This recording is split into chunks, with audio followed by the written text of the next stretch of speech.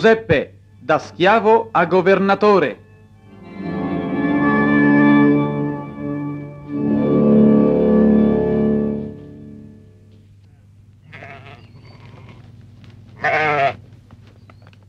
Non ti preoccupare, poverina, che presto giungeremo all'ovile. Giuseppe era figlio di una famiglia numerosa. I suoi genitori lo amavano molto perché era ubbidiente e generoso.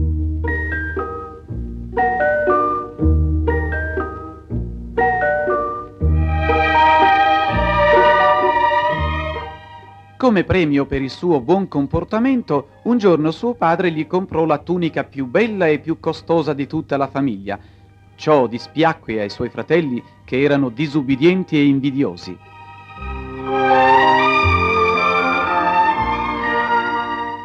Una notte fece un sogno, vide i covoni di grano dei suoi fratelli che si inchinavano davanti al suo covone.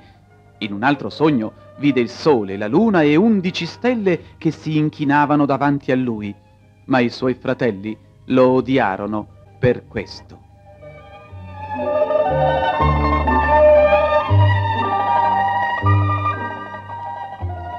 Che ve ne pare, fratelli? Papà gli ha dato la tunica migliore e ora pretende di regnare su di noi.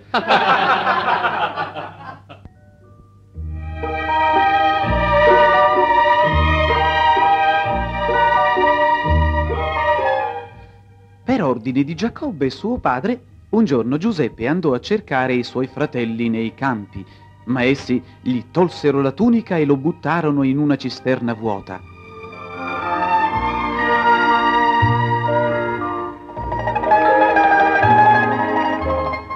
In quel momento passava una carovana di mercanti diretta verso l'Egitto. I suoi fratelli lo vendettero a loro come schiavo. Poi macchiarono la sua tunica di sangue di capra e la portarono a Giacobbe.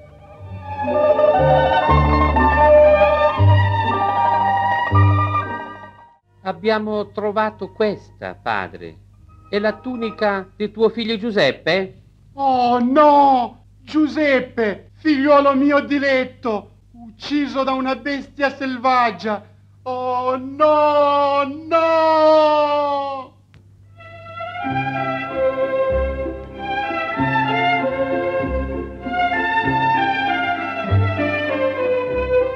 Giuseppe fu rivenduto a Potifar, un ufficiale di Faraone. Il suo nuovo padrone gli voleva molto bene, però un giorno, accusato ingiustamente dalla moglie di Potifar, Giuseppe fu messo in prigione.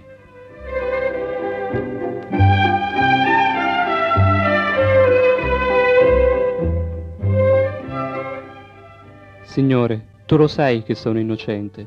Perché allora hai permesso che io fossi imprigionato? Ma certo, tu hai dei piani per me, perciò sia fatta la tua volontà.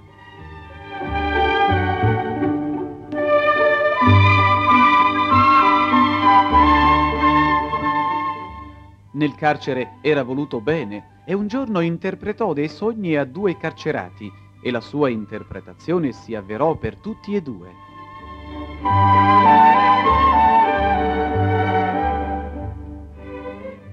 Una notte lo stesso faraone ebbe una rivelazione da Dio. Vide sette mucche grasse e sette magre, poi sette spighe piene e sette vuote.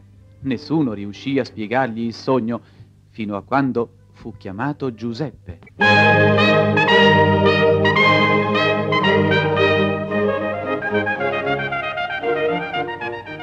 Ascolta, Faraone, Dio ti ha fatto conoscere il futuro.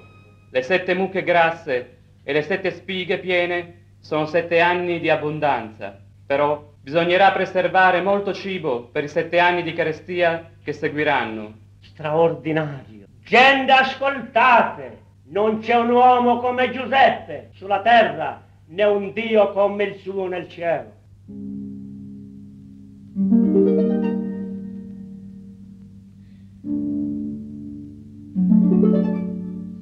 Faraone lo nominò governatore di Egitto e Giuseppe comprese che era stato il volere di Dio che egli fosse condotto in Egitto.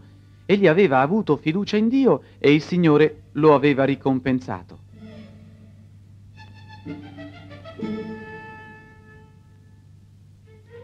riempite tutti i granai del regno, perché dopo questa abbondanza ci saranno sette anni di fame e verranno da tutte le parti per comprare del grano. I tuoi ordini saranno eseguiti, Signore.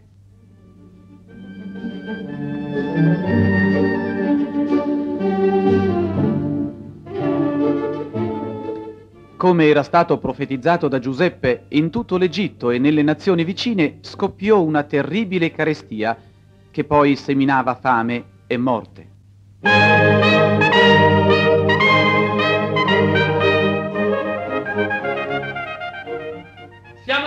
Signore, della famiglia di Giacobbe.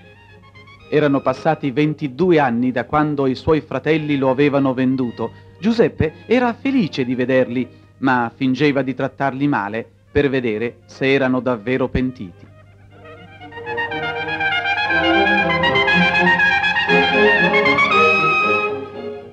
Ma quando vide che lo erano, si fece conoscere. Oh, fratelli, io sono Giuseppe. Giuseppe, il nostro fratello, è vivo. Che gioia! Grazie, Signore. Perdonaci, Giuseppe. State tranquilli. Il Signore ha permesso ciò per il nostro bene. Andate a cercare papà. Presto.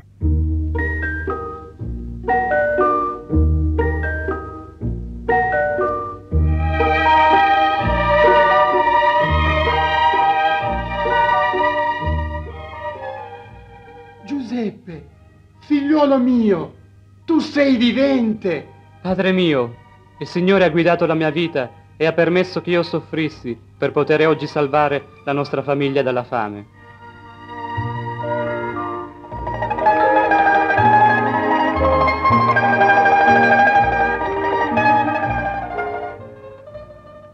Giuseppe è un grande esempio di fede e di perdono, un uomo su cui Dio poté riversare le sue benedizioni celesti.